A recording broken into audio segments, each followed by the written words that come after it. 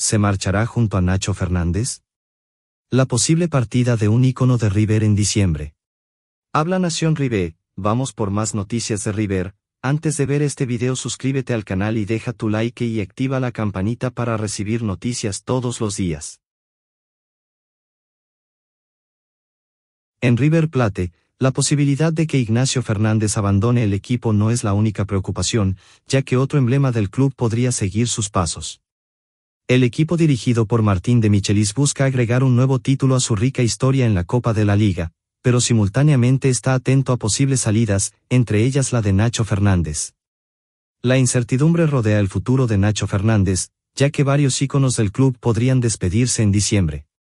En esta línea, otro jugador que podría sumarse a la lista de salidas es Milton Casco, quien ha despertado el interés de Gimnasia de La Plata, buscando su repatriación.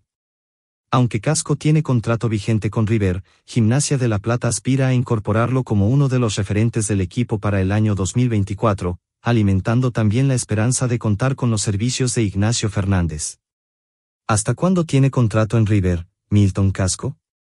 A pesar de haber renovado su contrato recientemente, Milton Casco figuraba inicialmente en una lista de jugadores que Martín de Michelis considera prescindibles, ya que aspira a contar con un nuevo lateral en River para enero. Esta situación ha llevado a Casco a evaluar su futuro en el club, consciente de que, aunque su contrato se extiende hasta finales de 2025, podría considerar otras opciones si no se le garantiza un papel destacado en el equipo.